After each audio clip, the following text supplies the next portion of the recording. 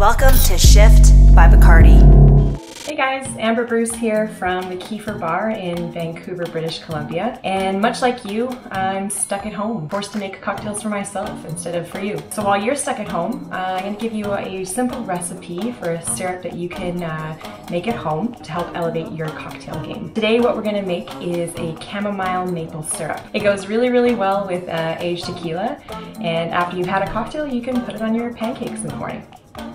So what you're gonna need is some maple syrup. Uh, get a local one if you can, or the best quality that you can find. You're gonna need some dried chamomile flowers. Uh, most grocery stores will have this, but if you can't find it uh, just by itself, you can get a chamomile tea bag and just cut that open. Also need a little bit of water. So what we're gonna do is we're gonna add uh, 120 mils of maple syrup into a saucepan and add 60 mils of water into the saucepan. Uh, to that, we'll add about a heaping teaspoon of chamomile flowers and just heat that uh, gently over low heat.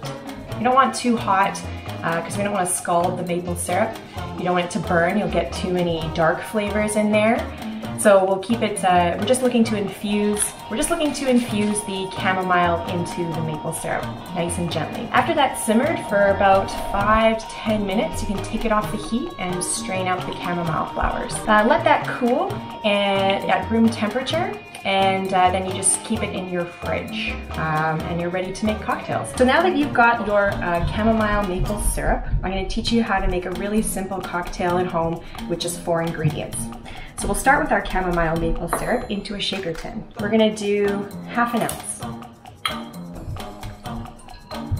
To that, we're gonna add three quarters of an ounce of lemon juice.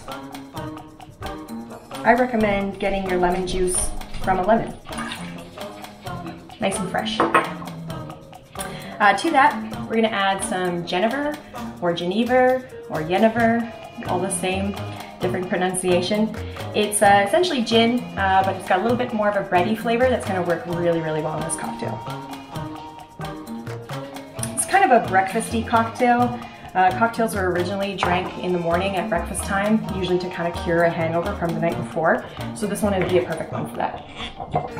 And last but not least, the kind of shining uh, ingredient in this cocktail is going to be the Cazadores Añejo Tequila.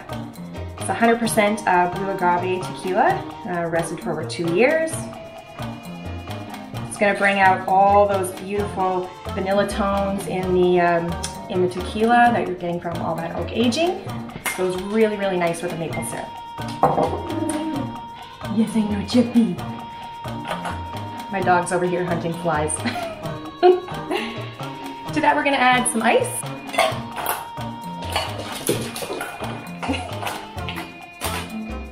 Shake it up. Now if you're pro, you've gone ahead and got your glassware, but since, you know, we're just making cocktails at home, you can go over to your cupboard and get it like this.